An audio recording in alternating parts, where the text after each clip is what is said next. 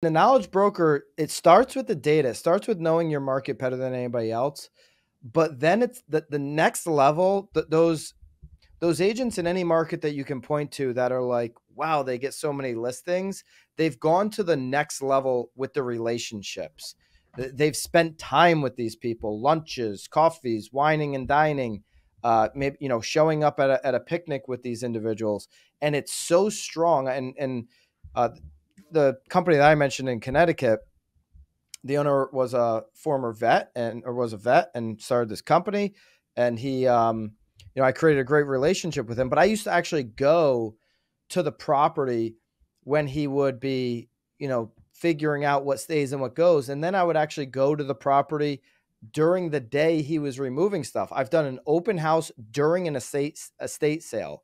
Uh, you know, you talk about these mega open houses where hundreds of people uh, do an estate sale where you're selling 25 cent trinkets and you're going to have every Tom, Dick, and Harry in your market walking through that house and be able to hand out a bunch of flyers. I was also at a property, talk about great social content. This is like probably even before Instagram. He was craning out of the property a $275,000 piece of art. It was like a, uh, I don't know, it was like a dinosaur foot or some nonsense. It was like an artifact like this big clay thing and he had to lift it out of the home. And you know you just spend time there and create these deep relationships that are going to bear fruit in the future. For anybody that's going to be in this thing for the next 5 10 15 years these are the relationships that are so important uh, to start to create. It doesn't happen listen it doesn't happen by handing somebody your business card. I'm so sick of this people thinking that the number. A re, a relationship starts with handing your business card. You haven't even begun. That's not even 1% of the equation. Oftentimes, when I'm handed a business card, it immediately goes into the trash bucket the, the minute the person turns around because you've created a job for me to input your data into my CRM that I don't want. I don't want that job. You hand a business card and walk away. I, I think you're an asshat. I, I'm just not going to respect that move. So don't worry about the business card. Worry about creating a, a deep relationship, finding commonalities, and then using those commonalities and, and those mental notes or notes that you've taken in your phone as the opportunity for the follow up, just yeah. like you would with a client. It, well, they are clients, right? Like that. I think that that's how you have to look at it, though. Is anybody that you're willing to give a business card to is a client of some level, uh, and it's it's all relationships. Business cards are not that.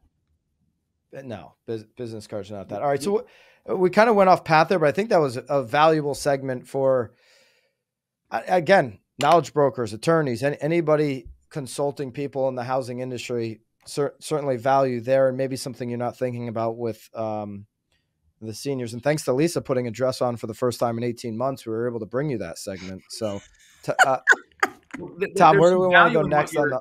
What, what you're talking about here. And I, I want to give a case study real quick. And, and this happened to me over the weekend because, um, you know, people like, and, you know, I use business cards to pick my teeth sometimes. So I'm with you, Byron. I think that's a good use for them, especially if you get the glossy ones.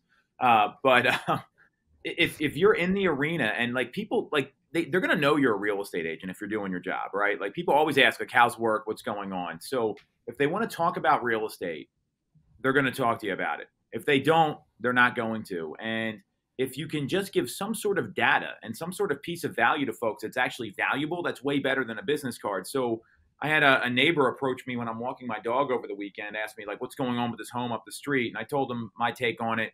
And there was another home the next street over that sold, and I shot them an email, and not to be inv- invasive, just hey, hey Karen, here's what happened with this house. Blah blah blah. We talked about this on the follow up webinar, and as as promised per yeah. our conversation of of the little poodle walk. Yeah, and it's a French bulldog, uh, but uh, it's uh, real, real tough dog.